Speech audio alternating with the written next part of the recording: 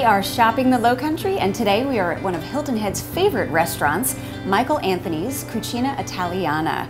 We are in their marketplace. Not only can you come here for fantastic food at the restaurant, you can take cooking classes, and in their market, you can take home some items. I'm with Chris Miller, who is the operations manager here.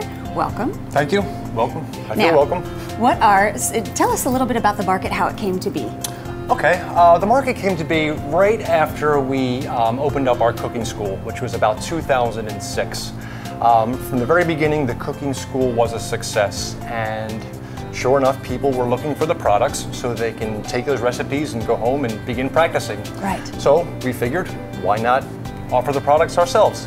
Um, Sort of a no-brainer. Sort of a no-brainer, yes. And originally, it was um, it was not in this location. It was a different area of the restaurant, and it was just a very small area that was cut out of a very small but solid selection of uh, some specialty products that we use.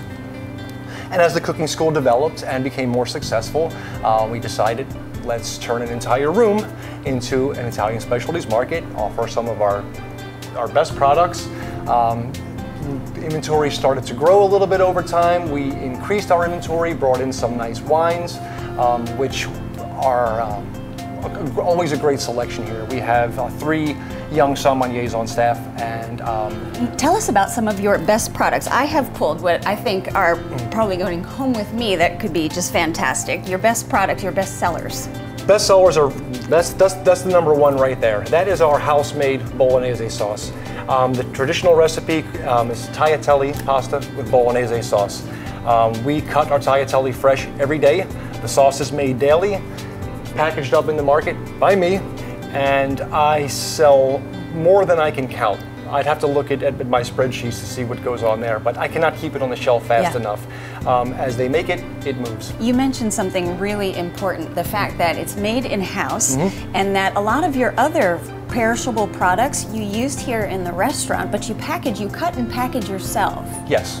Like for example, cheeses. Cheeses are, are a big one. I have my Oh, selection here Parmesan Reggiano. I eat it by the mouthful.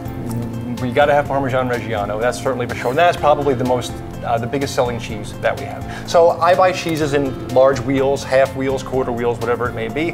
Um, I cut those up, package them up nicely to make sure that they uh, they hold up.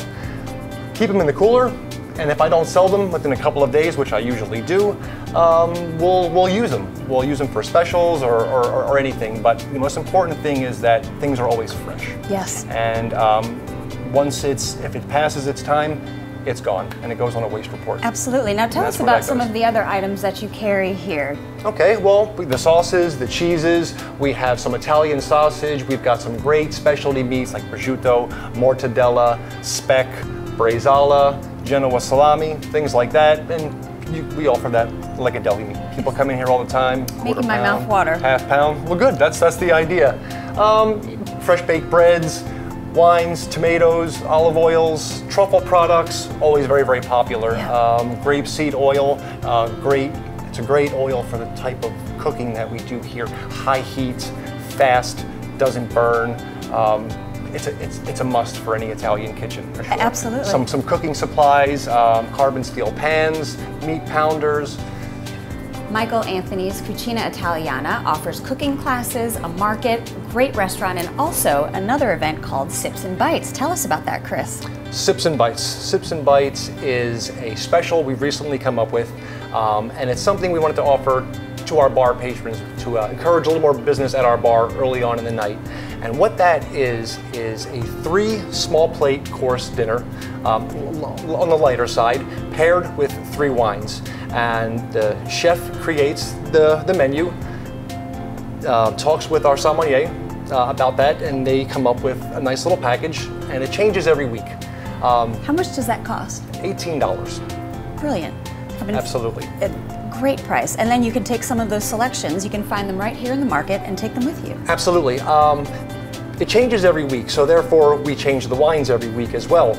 Um, so, in addition to the that special there, um, the wines are also available in the market at a discounted price as well. So, if you like any one of the wines you're you're you're, you're drinking or enjoying, Right. you can have it at the bar. And then take it home with you. Yep. Or you can yeah exactly. You can, you can buy the bottle at the bar, or you can take it with you. Perfect. Exactly. So So check out Michael Anthony's Cucina Italiana for your cooking classes, great restaurant sips and bites, and their market.